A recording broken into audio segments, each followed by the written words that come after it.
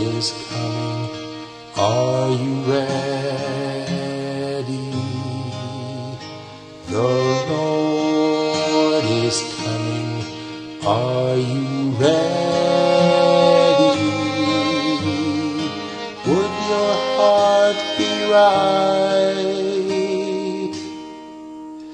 if he came tonight? The Lord is coming. Are you ready?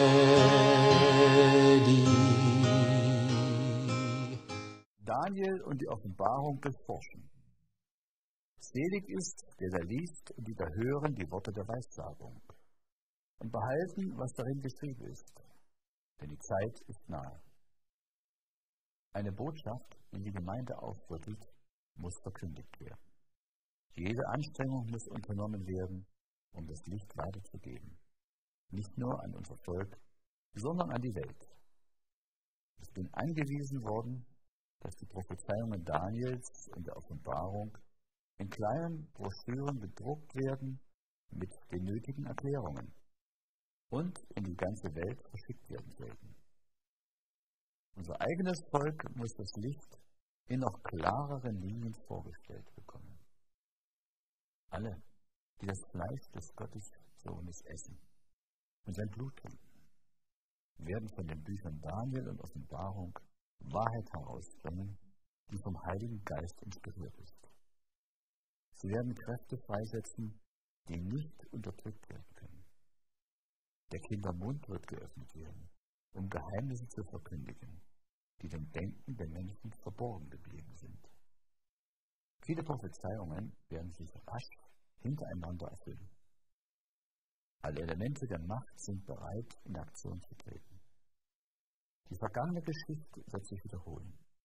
Alte Kontroversen werden zu neuem Leben erwachen. Auf allen Seiten wird Gefahr für das Volk Gottes lauern. Aufregung ergreift von der Menschheit Besitz. Sie durchdringt alles auf der Erde. Studiert die Offenbarung in Verbindung mit dem Buch Daniel. Denn die Geschichte wird sich wiederholen.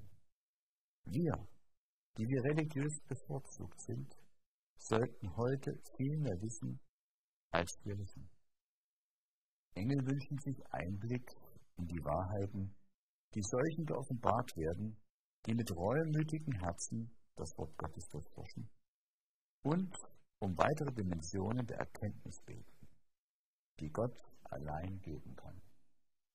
Während wir uns dem Ende der Weltgeschichte nähern, erfordern die Prophezeiungen, die sich besonders auf die letzten Tage beziehen, ganz besonders unser Studium.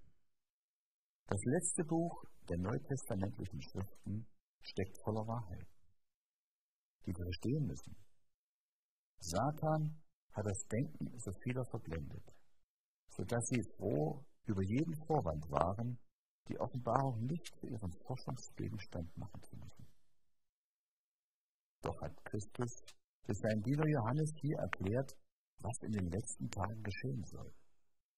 Und er sagt, Selig ist, der da liest und die da hören die Worte der Weissagung und behalten, was darin geschrieben steht.